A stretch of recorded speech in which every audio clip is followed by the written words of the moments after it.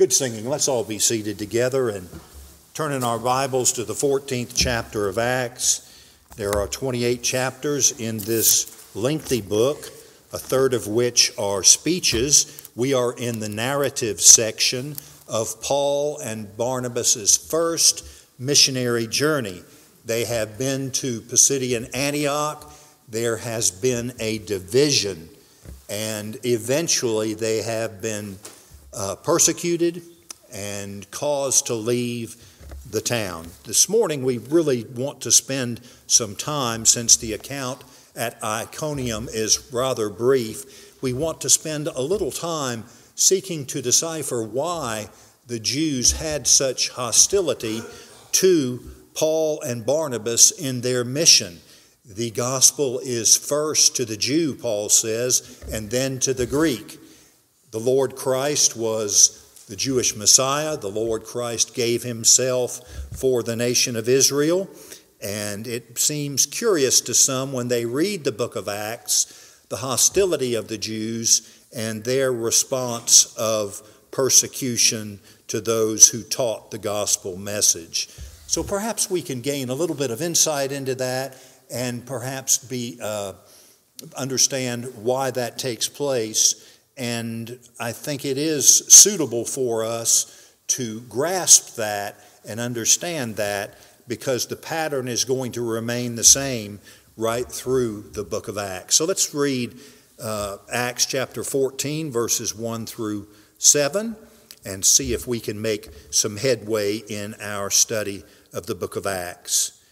Acts chapter 14, verses 1 through 7, the account of Paul and Barnabas at Iconium. Iconium is 90 miles southeast of Pisidian Antioch. You see it there on the map that is enclosed in your bulletin. So 90 miles on foot, that's quite a good little distance. And they arrive there as we pick up the story in verse 1. Once again, the word of the Lord. In Iconium, they entered the synagogue of the Jews together and spoke in such a manner that a large number of people believed, both of Jews and of Greeks. But the Jews who disbelieved stirred up the minds of the Gentiles and embittered them against the brothers. Therefore, they spent a long time there speaking boldly with reliance upon the Lord, who was testifying to the word of his grace, granting that signs and wonders be done by their hands. But the people of the city were divided, and some sided with the Jews and some with the apostles. And when an attempt was made by both the Gentiles and the Jews with their rulers to mistreat and to stone them, they became aware of it and fled to the cities of Lycaonia, Lystra, and Derbe, and the surrounding region. And there they continued to preach the gospel. The Jewish people of the first century lived a rather precarious existence. They were imperiled on both sides. On the one hand, they confronted the Jews, the, excuse me, the Romans of the Roman Empire. They had to deal with the particularly tyrannical policies of the Roman Empire, but they eked out, literally by the grace of God, they eked out an unique arrangement with the Roman Emperor, the Roman Senate, and the Roman uh, civic order. They were granted, among all other peoples, they were the only ones granted the privilege of having their own God and worshiping Him exclusively. All other peoples in the Roman Empire were required to worship the pantheon of Rome and to do obeisance to the emperor often simply by offering a sacrifice to his image. But the Jews had eked out this perilous relationship in which they were able to live in the communities of the Gentiles. They were able, in many cases, to prosper in a socio-economic manner. They were able to live and prosper in some regions of the empire quite nicely. But it was a precarious peace, and they were intensely jealous of guarding that status that they had of being able to worship the God of Israel in the temple at Jerusalem and still being able to coexist with their overlords, the Roman emperor. So, all other peoples did not have that arrangement, and sometimes that bred jealousy, factions, and even outbreaks of disturbances, riots, and other sorts of things. If we go through the first century, we can find many historical examples of friction and disagreement and even battles between Gentiles and Jews in local cities and in the places of the Roman Empire. So uh, it was an uneasy peace, and it was in, in the Jewish favor to maintain a status quo peacefulness with the Gentiles, peacefulness with their Roman overlords, and being able to move forward in their economic activities and in their communities, worshiping the true and living God and living in peace with God and man. Now enter the fledgling Christian messianic sect that became a part of first, sec- first century Judaism. All of a sudden, not over, only are there ones believing in a Messiah who was crucified by a Roman, by a, by a Roman procurator, not only were there ones in the community who worshiped him, the Lord Jesus Christ, again, one condemned by the Roman Empire, put to death by Pontius Pilate. Not only did they contend with that particular belief, but now, since Antioch, they had to contend with their most dangerous problem, and that was Gentiles beginning to come into the community of the Jews and under the leadership of the apostles, they sought the ability to worship in the synagogues and the grace to continue in the Jewish um, community and among the covenant people. And what did that do from Rome? Rome now begins to look upon the Jewish people as using their unique religious beliefs as a protection for the Gentiles who were coming into the movement and who were now claiming themselves to be under the Jewish covenant and under the Jewish uh, religion. And so the status quo of religious liberties, cultural freedom, and the ability to pursue their lives is in danger. And I think a way to illustrate this is to show this from another part of the scripture. If you would please turn to John chapter 11. Here we have a very familiar story of Jesus raising Lazarus from the dead. And the foment that results from this dramatic miracle. We want here to look at the response of the Sanhedrin and the Jewish rulers.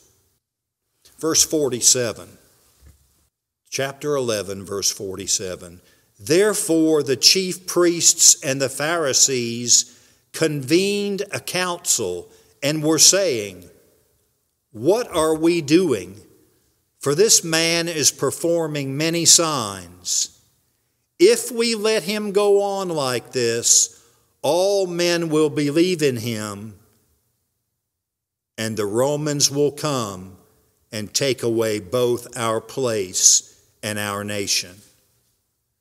So here we see the, the status quo being disrupted by this dramatic miracle of Jesus Christ and the fear now of the Jewish community that there may be some sort of movement or uprising, and that movement and that uprising will be quelled by Rome, and they will lose their place. The Sadducees being in league with the Romans and being secure under them as long as they kept the Roman law, and the people of Israel being, being uh, sub, now to be subjected to stricter Roman rule without the privileges of Roman uh, acquiescence to their religion. So you see here the, the um, peoples, the Sanhedrin and the Pharisees are worried. What are we going to do? There's going to be a tumult. We'll lose our status quo. We'll lose our religious freedoms and liberties. The Romans will take over our nation and re- retract the privileges that we have uniquely enjoyed. So you see, disturbances were what Rome did not tolerate. As long as the Jews were quiescent, as long as they made prayers for the emperor daily in the temple, they were left alone. But if there was disruption or there were battles within, the Romans would step in and take away their special privileges. And that's what's taking place in Pisidian Antioch and Iconium here as we read this section this morning. There is an auspicious and favorable and promising beginning, and then there is the recognition on the part of the Jews that if Gentiles come in in mass and that they expect the same privileges that Jews have, it is going to upset the equilibrium, upset the, the uh, privileges that Rome has granted them, and Rome will take away their freedom to worship in the temple and perhaps even subjugate the temple itself. So, in chapter 14, with that explanation, we have an understanding of what happens in verses 1 and 2. They entered the synagogue of the Jews, spoke in such a manner that a large number of people believed, both of Jews and of Greeks. But the Jews who disbelieved stirred up the minds of the Gentiles and embittered them against the brethren. The same pattern now of a favorable initial response, and then upon reconsideration, the Jews resisting and disbelieving the message. Why?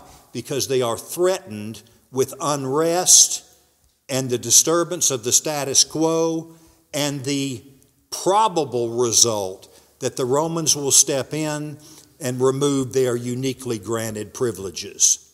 So they do not want at all a, a, disruption of the status quo. Rather, they wish to continue worshiping in their synagogues in peace and pursuing their cultural privileges without interference from Rome. But this is what takes place when Paul and Barnabas come in and preach the gospel the community is divided, and he will tell us, he that is Luke, will tell us that again in the passage as we move through it. So, the Jews who disbelieved stirred up the minds of the Gentiles and embittered them against the brothers. So now we are going to see a tactic that is not without some foundation that the Jews used to embitter, it means to, it's translated in some uh, translations to poison the mind. We've talked about this a little bit, but I think it will help us to review it. First of all, as far as Paul and Barnabas preaching the gospel, they had to acknowledge, we learned in chapter 13 and verse 27, that the Jewish rulers had disbelieved in Jesus and rejected him, Luke uses the word condemned, so that the Jewish leaders condemned Jesus. And there are numbers of reasons given in the Gospels for that. First, Jesus was claimed to be a magician or in league with Belial, or Belial, if you will, the prince of darkness. Now, earlier in this book, we've learned that Sergius Paulus on the island of Cyprus, we have learned that he had someone apparently as a court attendant who was a Jewish magician. His name was Bar Jesus or Elymas, and Paul has a row with him, and you remember that from a previous chapter. But this shows the frequency with which Jewish magicians occupied the scene of the first century. They were not uncommon. We'll run into Jewish exorcists again in chapter 19. And so these types of individuals were a part of the, of the cultural landscape of the day of Jesus, during the day of Jesus. So, the enemies of our Lord identified Jesus with this element of the social order. They claimed that he was working magic and that his deeds, which they could not deny, were performed by the power from below. Next, we learned in the Gospel of Luke, when we studied that, that he was also called a false prophet. And of course, the penalty for being a false prophet was death, and on many occasions, Jesus was called a false prophet. And then under, in his trial, the Sanhedrin, the Supreme Court of Israel, rejected his claims of messiahship and also charged him with blasphemy, claiming himself to be the Son of God. So there was a host of different um, methods by which the Jews had to poison others about believing in the Lord Jesus. Don't you know he was he worked by black magic? Don't you know he was a false prophet that misled Israel? Don't you recognize he claimed to be the Messiah and was crucified and hung on a tree, proving that he in fact was under the curse of God? There was a repertoire of uh, a panoply of of identifications of Jesus that were convert with which people were conversant in the first century that discredited our Lord and discredited uh, the Christian movement. And so that seems to be what's taking place in verse 2. The Jews are using these examples to show the, to, to Gentiles who may have believed the reasons for not believing in the Lord Christ.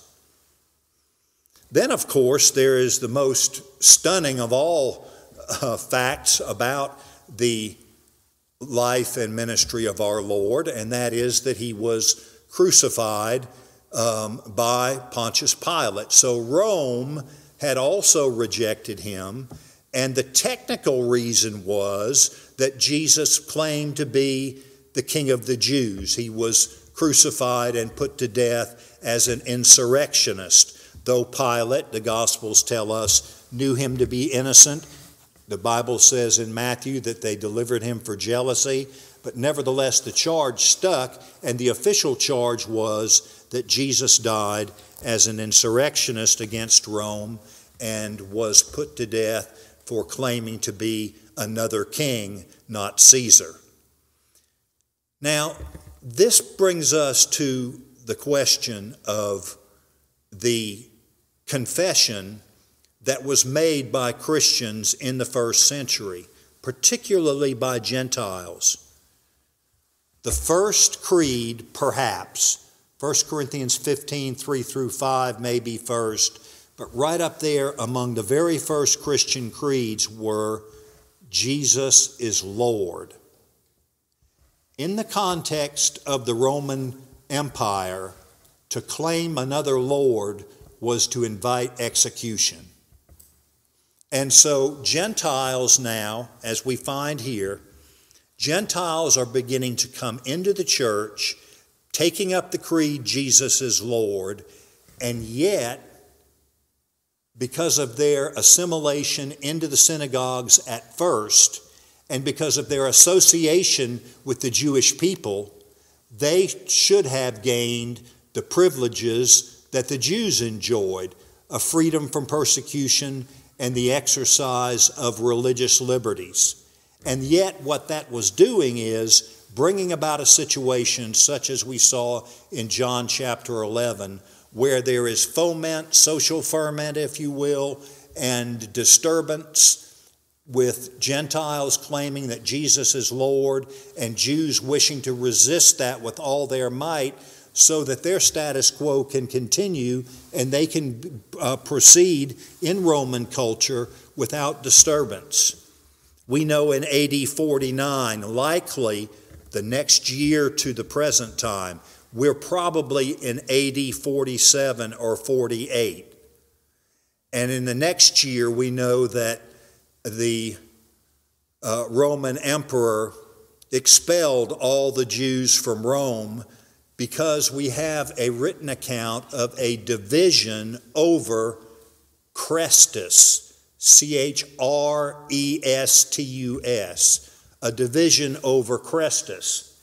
And what most historians believe is that that was a, was a dispute over Christ, that Chrestus has been misunderstood and the dispute is really over Christ. So in Rome, the church at Rome had a solid beginning, had a fairly strong uh, showing in, the, in Rome, and yet Jews who disbelieved would have been at odds with them.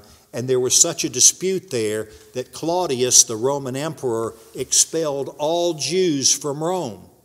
And we can see in that another example of the tenuous and delicate relationship that the Jews had with the Roman Empire. As soon as there's a disturbance, then the Jews are uh, put on warning, or they are expelled from Rome, or worse, they are in danger of losing their privileges of worshiping the one true and living God and not having to bow down to the Roman pantheon and the Roman Caesar. So these are various examples of it, and this is what is taking place now, not only in Antioch, but in Iconium. Now, we move on to verse 3, where we find also a familiar pattern. When we come to the church at Thessalonica, we'll find the same event where Paul and his associate uh, make a small beginning, and yet they are driven from the crowd, from the town by riots and by uprisings, and they leave behind a small and uh, very young Christian community. What we have here is a wonderful example of Paul and Barnabas and their attachment to their community of believers. Remember now, we've read here that a large number, verse 1, a large number of people believed, both Jews and of Greeks. Then comes the stirring up, but Paul and Barnabas do not leave Iconium.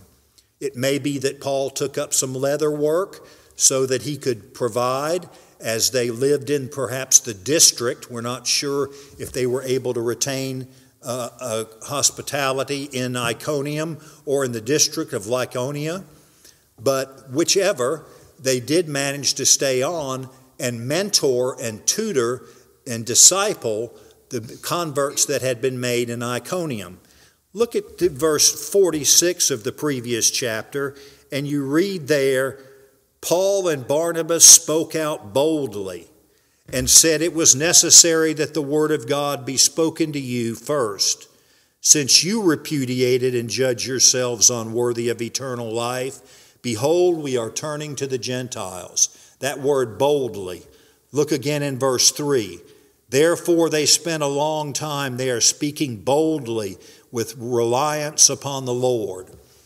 And we find here an example of the courage and the discipline and the determination of Paul and Barnabas, that they are determined to do all that they can to remain in the district of Iconium in order to disciple the believers there. Apparently, a large number of both Jews and Greeks had believed, and they demonstrate great courage.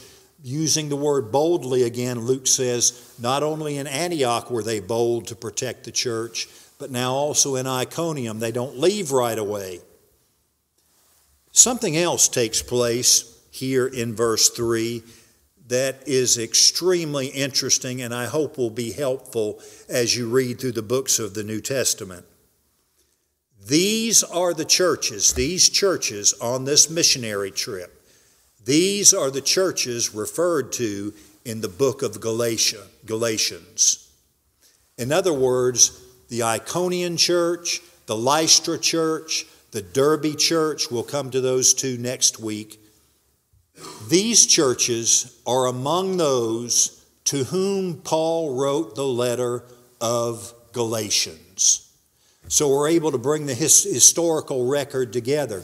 These churches that he is grounding in the faith were the very churches that were beset by Judaizers and to whom Paul wrote the next year, probably AD 48, wrote the next year to these churches, warning them about the encroachment of, uh, of another gospel into the churches that Paul and Barnabas had founded at Antioch at Iconium, at Derbe, and at Lystra. Now, we have an example of that and a very interesting one as well. Note what it says in verse 3 at the end of the verse. It tells us here that they were in reliance upon the Lord who was testifying to the word of his grace. And he was doing so by granting that signs and wonders be done by their hands. Now, it's been a while, but you may remember me saying that the manner in which people are converted is depicted by Luke in different ways. Some of them, like Paul, are struck down, or Paul uniquely struck down on the road to Damascus. Others have apostles come to the Samaritans, lay their hands on them, and they receive the Spirit. Others uh, speak in tongues and give evidence of the Spirit's rebirth, such as Cornelius. But these conversions appear with a different secret sequence, a different format, so that they're not all recorded with the same sequence and format. Well, here we don't have mention of baptism in, at Antioch or at Iconium. Very unusual because the, the practice was to baptize immediately converts. But Luke doesn't mention it in, in these two instances. We don't have laying on of hands, we don't have speaking in tongues. But what we do have is now, unusually, and in a text we wouldn't have thought of it appearing in, he tells us here that they worked signs and wonders in Iconium. In other words, in the ministry at Iconium, the Lord testified to his word of grace, a passage that tells us that the word is a means of grace. The word of grace, the word which carries grace, which confirms grace. So we have a statement there that, uh, that an element of grace in the church is the word as a primary means of grace, the word of grace. But it says also that God testified to that word of grace by allowing Paul and Barnabas to work signs and wonders. It'll only take a second. Look at Galatians chapter 3 and verse 5, where this is confirmed. Galatians 3 and verse 5.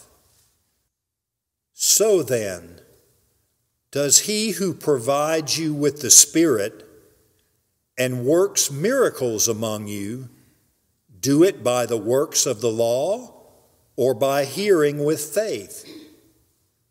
And Paul is making the point, of course, that, that they received the Holy Spirit and they also were, uh, could testify visibly to wonders wrought among them, and that was done by their faith in the Lord Jesus Christ rather than by obedience to the law. He's making that point over against the Judaizers in this letter.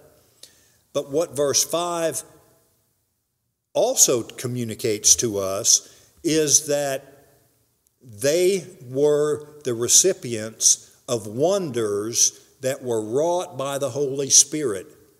And this is again a passage from the book of Galatians and we know that the church at Iconium was one of the churches to which he wrote.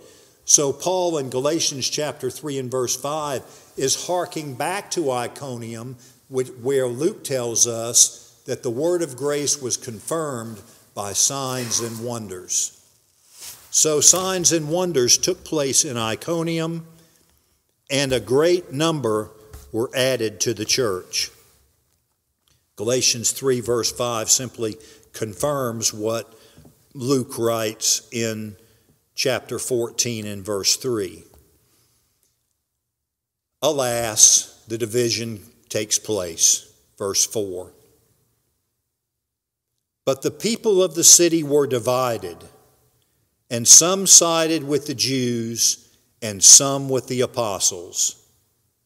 And when an attempt was made by both the Gentiles and the Jews with their rulers to mistreat and to stone them, they became aware of it and fled to the cities of, cities of Lycaonia, Lystra, and Derbe. So they stayed as long as they could, boldly declaring the gospel. God, by the work of the Spirit, confirmed by Galatians 3 5, worked many signs and wonders there. A church is begun, and later on we'll return to Galatians again and see that Galatians was written to this group of churches which were founded on Paul's first missionary journey.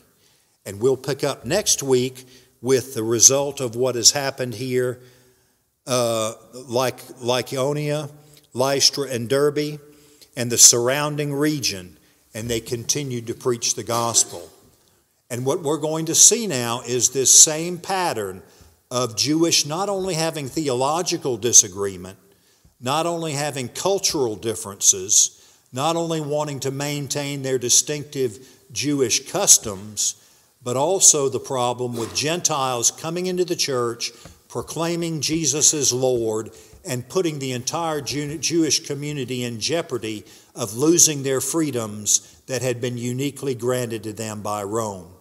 And next week, we'll come to Lystra where, curiously, they identify Paul and Barnabas as two Greek gods. And so we'll pick up the text there. Thank you. Father, we uh, rejoice to know that these men were bold and careful, that they took care of their converts insofar as they were able. We understand that they were persecuted and driven from Iconium.